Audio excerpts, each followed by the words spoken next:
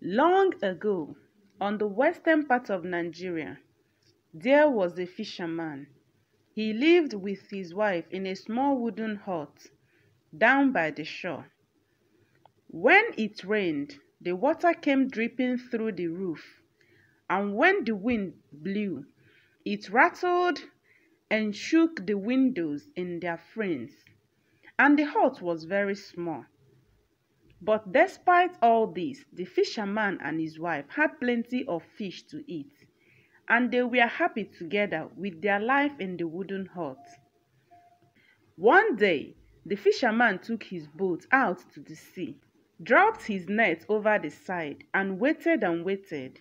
When the time was right, he began to haul the net in, but it seemed much heavier than usual. This must be a great catch, he thought. And sure enough, when he hauled the net up and on the boat, there among the sardines, herrings, and mackerel was a huge fish, the biggest fish that the fisherman had ever seen. Its silver skin gleamed and sparkled in the sunlight and on its head was a golden crown. You must let me go, said the fish. Let me free to swim back in the sea, for I am no ordinary fish. I am the king of all the fish. In return for letting me go, I shall grant you a wish. If you could wish for anything in the world, what would it be? Well, the fisherman was speechless. He didn't know what to wish for. But the fish said, You have one day to decide. Come back here tomorrow and tell me what it is you wish for. But how will I find you again? asked the fisherman. You just need to call Fish, fish, king of fish. Please grant my greatest wish, and I will come, answered the fish. So the fisherman made his way home. And as he walked along the path, he wondered what he could wish for. Maybe a new net. His old one had been repaired many times, but still had holes in it. Or maybe he should wish for a bigger and better fishing boat. When he got to the little wooden hut, he told his wife all that had happened. Husband, cried the wife, clapping her hands with excitement, we would ask for something much bigger and better than a new boat. You must ask that fish for somewhere bigger for us to live. A large cottage with vegetable and fruit garden. A hen to give us fresh eggs every morning and a cockerel to wake us up every day. So, the next day, the fisherman went back to the shore and he called out, Fish, fish, king of fish, please grant my greatest wish. And at once the silver fish appeared, wearing a golden crown on its head. So, have you decided what to wish for? asked the fish. Yes, said the fisherman, I wish for a large cottage with a vegetable and fruit garden, hens to lay eggs, and cockerel to wake us each morning. So be it, said the fish. Your wish is granted. And the fisherman found himself beside a beautiful cottage. And there were vegetable and fruit gardens, hens laying eggs, and a handsome cockerel crying, Cock-a-doodle-doo. This is wonderful, said the fisherman. It's a dream come true, and it was wonderful for a week or two. But then, there was so much work to do every day. There was the garden to weed and water, the hens to feed, and eggs to collect. And the worst thing was that every morning at four o'clock, the cockerel would cry, Cock-a-doodle-doo. The fisherman and his wife hardly got any sleep at all. It's not good, said the fisherman's wife. You will have to go back and speak to that fish. Speak to the fish? asked the fisherman. Yes, said his wife. You will have to ask that fish for a different place to live. A castle with plenty space and people to help us clean, cook, and weed the garden. So the next day, the fisherman went back to the shore and he called out, Fish, fish, king of fish, please grant my greatest wish.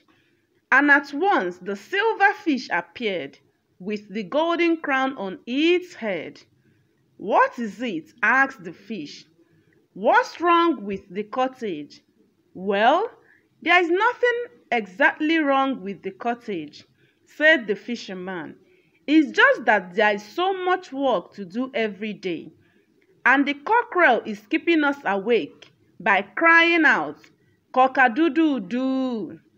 What we would really like is to live in a big castle with plenty of people to help us with the cooking, cleaning, and looking after the garden. Is that what you really wish for? asked the fish. Yes, said the fisherman. That's my greatest wish. So be it, said the fish. Your wish is granted. And the fisherman found himself beside a huge castle with many people to help them do their chores. The rooms in the house were too many, that at first he couldn't find his wife, but at last he found her in the dining room, where there was an enormous table, three times the size of their little wooden hut. On the table were food of different kinds roasted chicken, platters of vegetables, fruits, and there were lots of people running around, bringing more food and lighting the fires in the room. On the walls were paintings and suits of armor. It was wonderful. And the fisherman and his wife were very happy in the castle. They enjoyed the castle, but it was so dark, damp, and drowsy. And there were so many rooms that they were always getting lost. By the time they found the dining room each evening, the dinner was cold and by the time they found their way to bed, it was almost time to get up. This is no good, said the fisherman's wife. You will need to go back and speak to that fish. Tell that fish that we need somewhere warm and sunny to live, where it's hot all the day. A villa with a swimming pool. So, the next day, the fisherman went back to the shore and called out, Fish, fish, king of fish, please grant my greatest wish. And at once, the silver fish appeared with the golden crown on his head. What's wrong with the castle? asked the fish. Well, it's just that it's so cold, damp and drowsy, said the fisherman. What we would really like is to live somewhere warm and sunny. A villa with a swimming pool. Are you sure that's what you want? asked the fish. Yes, that's what I wish for, said the fisherman. So be it, said the fish. Your wish is granted. And the fisherman found himself beside a villa in the southern part. The sun was beating down and there wasn't a cloud in the sky. In front of the villa was a beautiful swimming pool, and just over the wall was the sea, sparkling blue in the sunlight. It was wonderful. And the fisherman and his wife were very happy there for a week. But it was just so hot all the time. Hot, hot, hot every day. The fisherman and his wife were from the west and they weren't used to non-stop sunshine. They began to long for some rain, drizzle, and mist. It was so hot that they had to stay indoors every day until the cool of the evening. This is no good, said the fisherman's wife. It's far too hot. And well, I missed our little wooden hut. It only needed a new roof, some windows, and maybe some extra space. I would like to go back home. So the next day, the fisherman went to the sea. As he called out, Fish, fish, king of fish, please grant my greatest wish. And all at once the silver fish appeared yet again with the golden crown on its head. What is it now? said the fish, rather angrily. What's wrong with the villa? Well, it's just that we want to go home. To our little wooden hut, said the fisherman. We were very happy there, and it just needed a new roof and windows. And it just needed a new roof, windows, and an extra room. Are you sure that's what you wish for? asked the fish. Because this is your very last wish. Yes, said the fisherman. This is my greatest wish. So be it, said the fish. Your wish is granted. And the fisherman found himself back in the little wooden hut down by the shore. But now, when it rained, the water no longer came dripping through the roof.